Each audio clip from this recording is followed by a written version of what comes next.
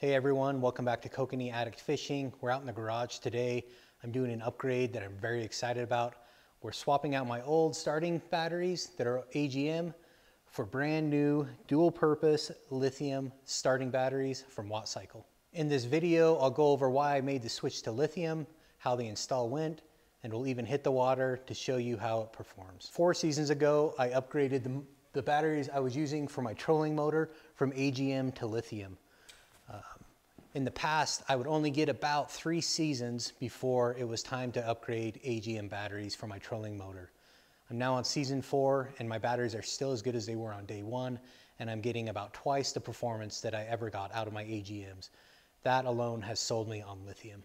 Last season, I added LiveScope along with two new Garmin fish finders. With those upgrades, along with my existing Humminbird fish finder and four electric counted downriggers, it really started to drain my starting batteries. I've been using two Group 31 AGM batteries that are about as big as I could fit in my boat. Even with that, they couldn't keep up. I had multiple trips where my voltage dropped too low and I had to start the big motor midday just to keep everything powered. I noticed image quality issues with my LiveScope, which I confirmed were due to low voltage by temporarily powering it with another lithium battery. Then earlier this season, I had one trip that my starting battery drained all the way that I had to jump it. That was it. I decided I'm done with AGM and my search for lithium started. I've got a Mercury Verado 350 with some pretty big starting requirements, so I needed a battery that could handle that. I actually just wrote a full article on my website explaining what to look for in a lithium battery for outboards like this. You can find the link in the description. During that search, I found Wattcycle's dual purpose lithium battery not only met Mercury starting requirements, but also came in at a more affordable price point than others I had looked at. Another big reason I made the switch was weight savings. Each of my old Group 31 AGM batteries weigh around 70 pounds. Wattcycle's lithium battery weighs about 26 pounds. That's nearly a 90 pound reduction across the two batteries. It makes getting the batteries in and out of the boat a lot easier and also helps with the overall boat performance. These Wattcycle lithium batteries are rated for 3,000 to 5,000 charge cycles, way more than the few hundred that I was getting out of my Duracell AGMs. Another major advantage with lithium is how it maintains a high voltage, around 13 volts, until the battery is nearly depleted. This completely resolved my LiveScope performance issues. One of my favorite features is the built-in Bluetooth monitoring. I can open the app and instantly see voltage, state of charge, temperature, and real-time data of how my batteries are performing. The install was simple. I started by charging the batteries to 100% using Wattcycle's lithium battery charger, and wiring was plug and play.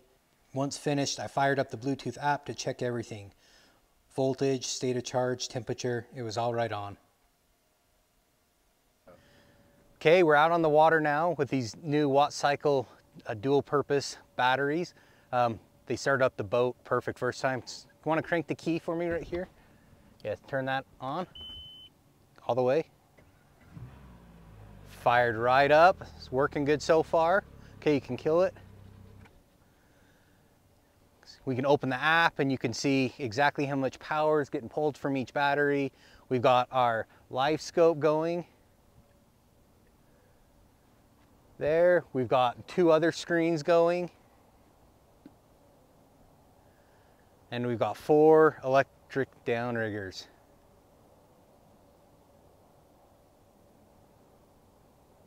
And we got a fish. Okay, we're just finishing up our day of kokanee fishing. Uh, today was a shorter trip. It was awesome this morning. We limited out in less than four hours. Um, checking these batteries right now. So I can see I've got everything split between the two. I've got 75, down to 75% on one battery. And let me check the other one.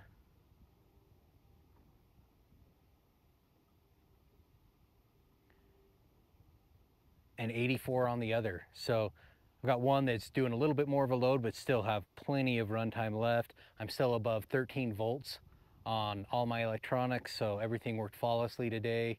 Um, boat started right back up, no problem. It's also charging effectively when my big motor's on. So, so far, super happy with these batteries.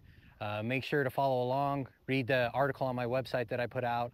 I deta- go over more details of why I switched and some of the advantages of lithium over AGM and lead acid. Um, happy fishing and tight lines.